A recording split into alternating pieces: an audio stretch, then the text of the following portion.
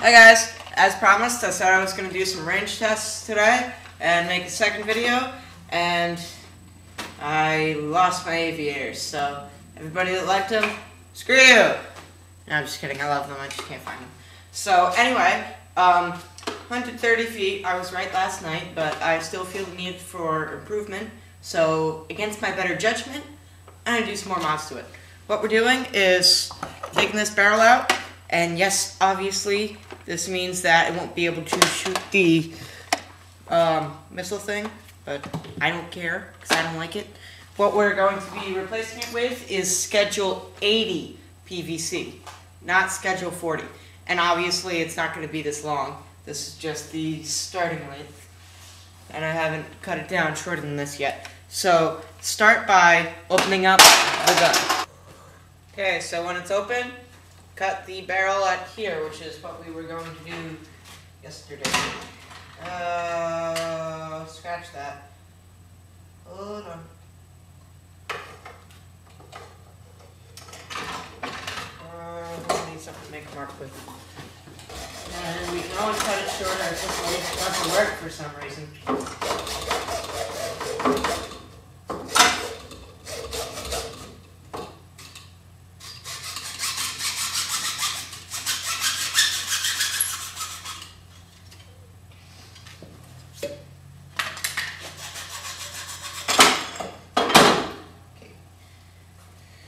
So about this length.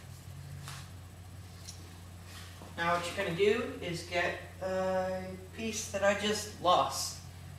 First you're going to find my piece. Uh, um,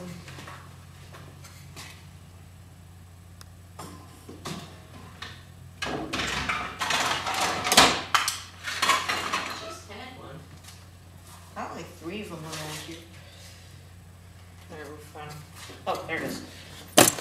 It's a um, one and a quarter inch to a half inch adapter.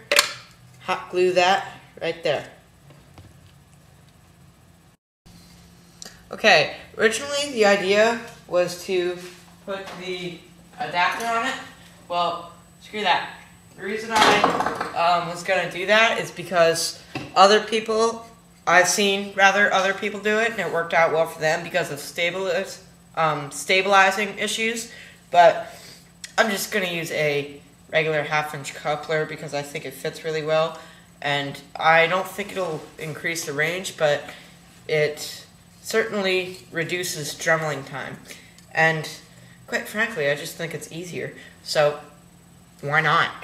So once you glue that on the top, you can surround the um, portion that was glued by electrical tape. Well, you don't have to because it's already a pretty good seal, but I like electrical tape because I went to Home Depot and picked up, ah, it's always right next to the camera, um, 10 rolls of electrical tape for $5. This is one of those rolls, so I thought that was awesome. Next Home Depot. So I seriously overload this stuff. It's just so useful. I know there's people out there that are obsessed with duct tape, and I still am one of those people, but I think electrical tape is just as, if not more, useful than duct tape. Please don't leave bad comments. Well, in general, yeah, but, like, not about the duct tape thing. Okay, there we go. So, very tight. Where's the trigger? Hold on a minute. Okay guys, I range tested it just like this. Incredible ranges. I did a tagger in the um, Schedule 80 CPVC barrel and the ranges were uh, 145 or um sorry 125 rather and then I have a brass barrel which I just covered in electrical tape so it fit in the barrel really well and I even lost the streamline, but it almost, like I measured at the very back of my um, driveway and it shot across the street deep into the woods in my neighbor's yard. So I'm guessing that went over like 150 feet. So that was with a streamline, and taggers won't fit down this barrel, but since they can both fit on the um, new attachment, I'm going to be using both of them, most likely. And I'm not sure what the brass size is, but I'm sure that my dad will know because it's his brass, so I can check with him when he gets home on the sizes. So in order to put this back in the gun, because the coupler is larger than the original barrel, you have to do some dremeling. In the front here, and on the second ridge here, and I can show you the difference between a Dremel. Well, actually, the fronts of both are Dremeled already. Not very cleanly, but that's, yeah. Anyway, this is what the stock hinge looks like. And you need to Dremel it out, the second ridge, to make it look like that. So it's much, much deeper, can hold more space. Then make sure the flat side is down. Caught it. When you put it back in, it should fit beautifully. And I actually think it looks really cool, just open like this. I wish I had a see-through shell or something. But, um, actually I might even paint this shell. So just jumble that out, put it back together, and you should have a really nice gun. Alright, hi guys. Found the aviators. Anyway, the mod is done, and I'm just gonna, I'm running out of time already, so I'm not going to bother to do a shotgun attachment this video. I'll show you how to do it over the weekend, maybe. So, um, here is the ending, and I just went ahead and, like, pretty much cemented this inside the gun, so it's real stable and stuff. And we're going to shoot it. The shoot's uh, 160 feet, angled with a Stefan using the brass barrel. And that's not an exact measurement. I have um, marks 10 feet uh, up my driveway, so I just took it from that measurement, but I'll do exact measurements when it's light enough tomorrow. And I didn't measure the um, stock darts using the PVC barrel yet, but I shall be tomorrow when I measure um, certainly for the um, the brass ranges. Anyway, I'm just going to show you a quick demo. This is a tagger dart, as you saw.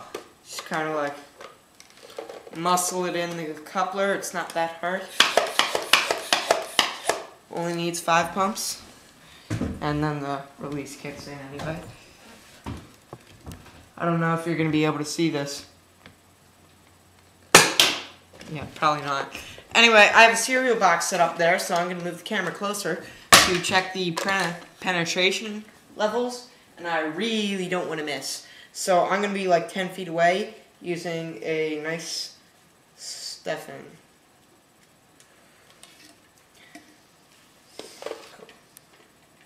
Yes, brass does fit relatively well because of my E-tape, which I love even more now. Okay, so what I'm to do is put the computer down here. So you're just to have the cereal box, and I'll be standing... Recording? And I'm sorry, I didn't know if we were recording or not. I'll be standing right there at that ledge thing. So I'll be relatively close because as I said, if I miss, I will be, well, it's, yeah, I don't want to miss because it would be very, very bad. So you saw me put in the Stefan. And it is all the way down.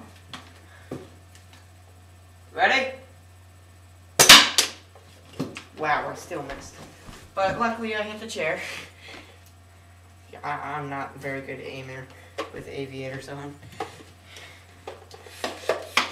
And the barrel's not exactly straight. I need more electrical tape.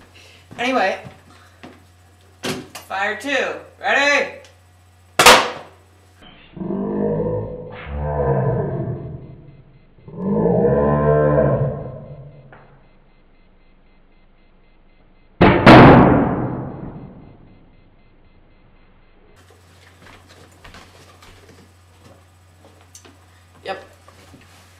As I thought, ripped right through the front. That's the back. Uh, here it is. Um, up here, as you can see, and the Stefan is or was inside the box. So, Ian 13 signing off.